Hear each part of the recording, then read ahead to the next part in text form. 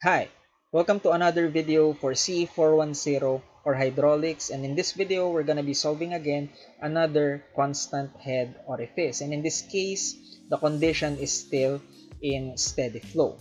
So for those who didn't watch my video or my lecture in orifice, please see the link on the description below. Let's go! So this is the problem. Problem number two, determine the discharge at the orifice from the figure shown. So as you can see in the figure, there is a reservoir. So this is a tank filled with water. So the tank is under pressure or there is an input uh, air pressure or gauge pressure of 40 kilopascals. So the head of the water from the orifice, the orifice is situated below the tank, up to the liquid surface is 3 meters. So assuming that this head is constant and there is a continuous supply here in the tank. So the required is to determine the flow rate or Q. Let's go! So why I wrote Q sub A rather than Q sub B?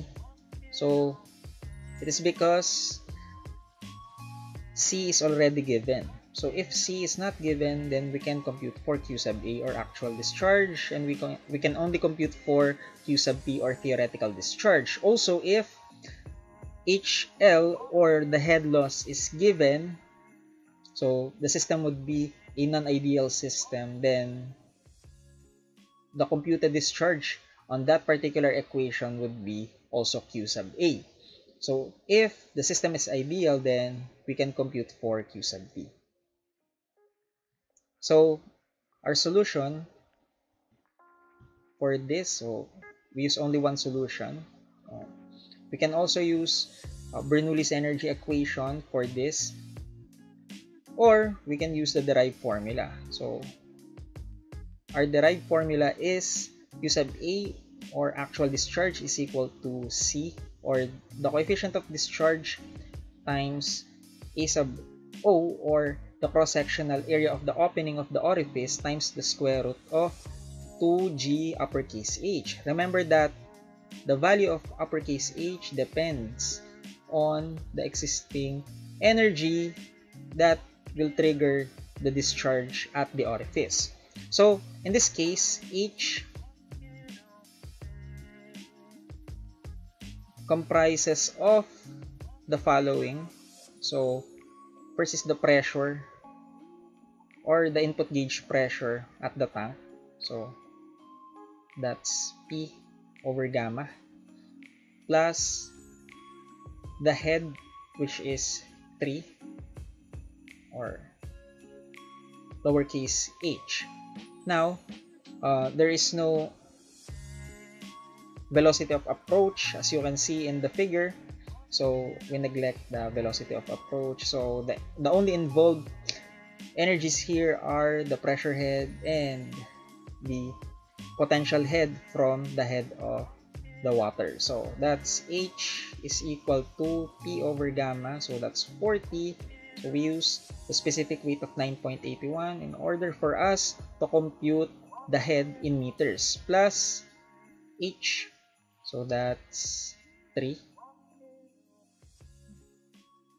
So our, our answer would be in meters. So let's try to input that in the calculator. So that's 40 divided by 9 0.81 kilonewtons per cubic meter plus 3. So that's 7.07 7.07 meters of head that's 0.077 okay so now since we're gonna be using this on this formula. So let's store this value in the calculator at A. So shift store, then store that to A. Next, we plug in this value on our working equation. So that's Q sub A is equal to C. So C is already given. That's 0.92.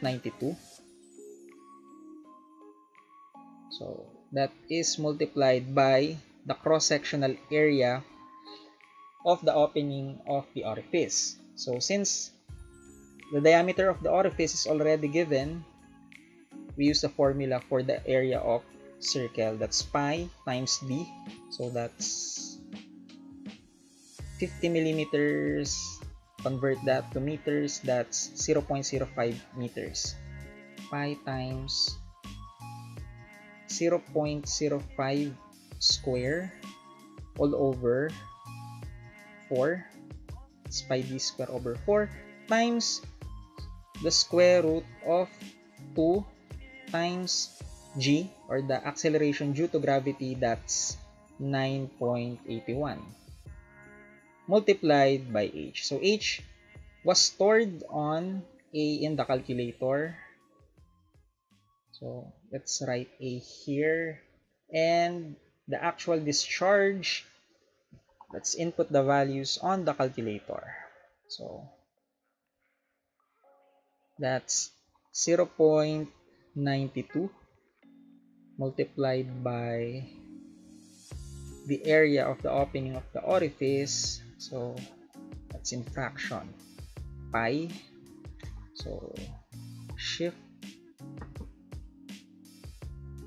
pi times 0.05 square all over 4 times oops sorry.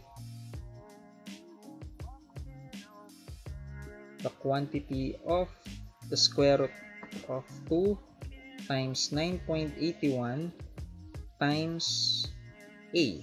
So a was stored here. Express alpha a and oops. There you go. Equals so the computed actual discharge is 0.021 cubic meters per second. So this would be our final answer